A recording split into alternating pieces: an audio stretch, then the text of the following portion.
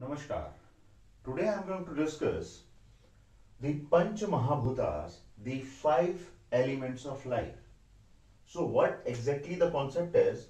The Panch is five, Maha means great, and Bhutas meaning is elements. So, here we are going to discuss about the five elements of life. So the whole universe and this body is made up of these five elements as per Hinduism. So what are these five elements? These are Akash, Vayu, Agni, Jala, Prithvi. Ether, air, fire, water and earth. So these are what? These are the five gross elements of life. So, as these are the five elements and their corresponding, there are their subtle elements. So, subtle elements are nothing but the tanmatras. These are the related senses. If I talk about the related sense, then I need to talk about the sense organ also. So, what are these corresponding sense organs? For ether, for Akash, there is a sense organ ear. For air, Vayu, the sense organ is skin.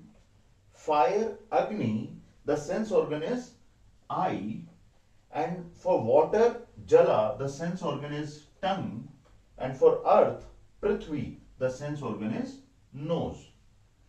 So, what are the related senses? So, related senses are the Shabd, Spars, Roop, Rasa, Gandha. This is the way to learn these things. The sound through here, uh, sorry, ear, touch from skin, sight from eye, taste from tongue, smell from nose. So, these are the sense organs, or we can say these are our five Jnanendriyas. Through which we perceive these five subtle elements like sound, touch, sight, taste, smell. So before going to this, let us basically understand. So these are the five elements as per the Hinduism and if I talk about the Charvaka philosophy and the Buddhism philosophy, these philosophy basically don't consider ether, the akash, as the element of life. So Buddhism and Charvaka philosophy consider only four, these air, fire, water and earth are the basic elements of life. Hope you have understood as of now. So if I talk about the state of these, these elements, the earth is nothing but the solid state. Water is in the liquid state. Fire is in the thermal. Air is the gaseous state. Ether is the ethereal or the uh, space, basically the space. Okay. So now if I talk about what is the correspondence of these five elements with the chakras. We have seven chakras in our body. So these five elements correspond to the five chakras. What are these? Earth element refer to the Mooladhara chakra. Water element refer to the Swadhisthana. Fire element refer to the Manipura. Air element refer to the Anahata chakra. Ether element refer to the Vishuddhi chakra. Regarding the three dosha, I'll come to this part. But let us first understand the basic, the basic of these five elements. What are these? As as per even even as per the Hatha Yoga, the whole body is is nothing but the kind of a mud pot. This body is considered as a pot, and pot is made up of what? The mud. So mud is nothing but the earth element.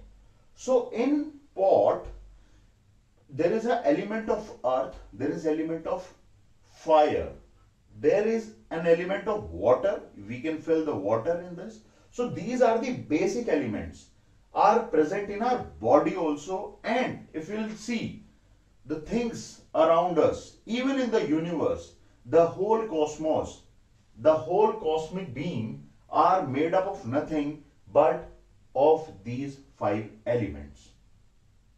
If we'll say the proportion of these five elements, if I talk about my body, our body, our body consists, the water element is the maximum. What is uh, approximate percentage is 70 to 72 per 70 to 72 percent. And the earth element is approximately 12 12 percent. And uh, the ether and air akash space and vayu approximately 6 percent and the fire element is approximately 4 percent in our body. So even if i talk about three doshas this is nothing but three type of disorders as per the Ayurveda are present in our body which which brings only if there is an imbalance between these three three things like Vat, Pitta and Kapha. What are these? This Vata is nothing but the wind Pitta is the bile and the Kapha is the mucus. If there is an imbalance of these three elements like wind, bile and mucus and this is also called Vata. Vata imbalance comes if there is an imbalance between the Akash and Vayu element. Then there is the Vata imbalance. And if there is a problem in the thermal energy, then there is a kind of a pitta and if there is a imbalance between the water and earth element then there would be the kapha the mucus and how how these three things vata pitta kapha can be balanced there is the way of the as per hatha yoga there is a con concept of shat karmas we'll study about uh, Karma in the Hatha Yoga section. So, if you'll see, these are the five elements this body is made up of. I can consider this body is nothing but a unit of this whole, whole universe. So, if I'll identify this body, so this body is made up of what? The five elements.